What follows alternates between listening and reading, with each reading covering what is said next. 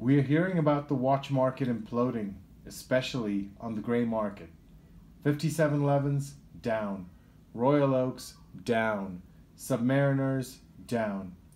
I have spent the last few weeks researching this as opposed to doing videos to give you my perspective as a business owner, not related in any way to the watch industry, and a CFO.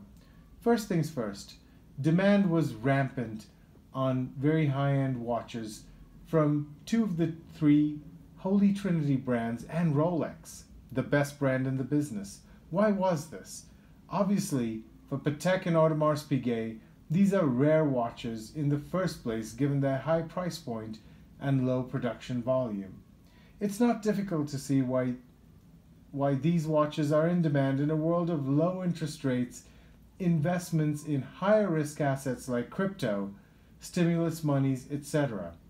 Rolex, even as a mass market luxury brand, has such an aura that it is not difficult to see what a perfect storm like this will cause demand through go, to go through the roof. Second to that, until recently, you had to order the watch, then decide if you like the watch. For me, I ordered an AP Royal Oak, which I got from the factory boutique, only to get it and decide it wasn't my aesthetic. I was going to return it when I visited my local jeweler about what to do and how to ship it, when he offered me an obscene amount more than I paid for the watch to sell it to him. This isn't flipping as much as it is offloading something you bought without seeing. Since then, most brands have corrected this with exhibition models. The offloading of watches for profit and some flip and some flipping led watches to be inflated, but strangely, most dealers didn't resell them but held on to them to create an environment where these scarce watches got even scarcer. So that had a price spiral effect which reached its crescendo in Q1 of 2022. Then what? A pop? Well, that's where the story takes a turn. Watch the YouTubers who focus on selling watches, overtly or covertly. Rarely a Nautilus, a Rolex, or a Royal Oak. Sure, they sold other watches from these brands, but they were hoarding the hype watches. Why? A relatively boring accounting exercise to increase the value of assets on their balance, balance sheet. Say they bought a Royal Oak with an MSRP of 24,000 for 37,000. Now the watch is worth 75,000. They can list the asset for 75,000 and do things like secure uh, loans at low interest, which I'm sure every one of these gray market dealers did. Load up on cheap value and buy more, and the value keeps going up. Then the pop. The central banks raising interest rates a conflict in Europe, a lockdown in China, a declining global stock market. People had less disposable income. So, even the most meager supply being held by the smallest dealers sat. The smaller dealers probably didn't have the financial sophistication of larger dealers and had to discount these hype watches to move product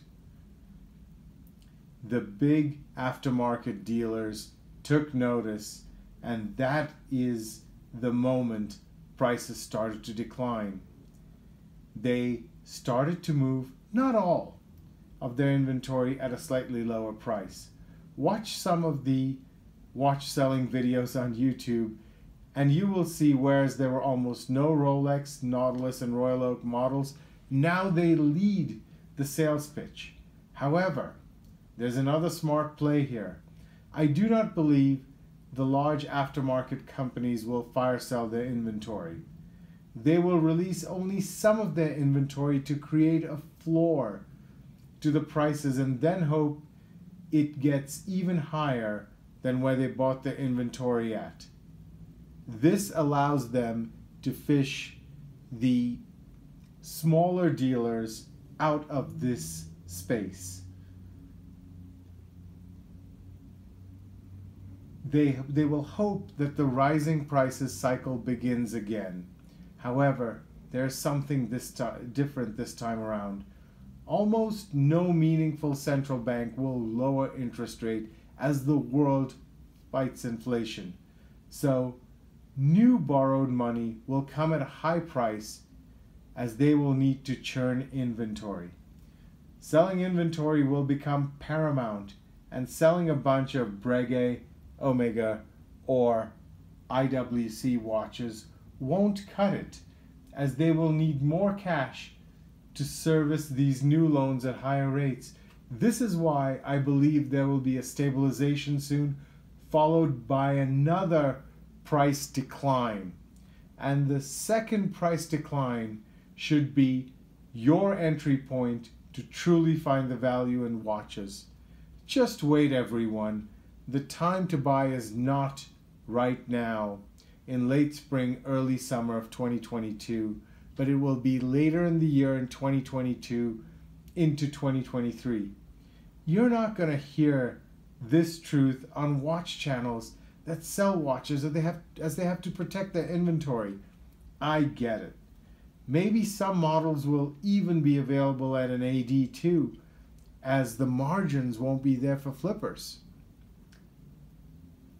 This video is truly the reason I enjoy producing content. I don't have a watch store. I don't have anything to gain from this. I enjoy my Patek. And I'm not looking to sell it. I can just give you the truth with no ulterior motives at all. I hope you're enjoying this content. Thank you again for watching.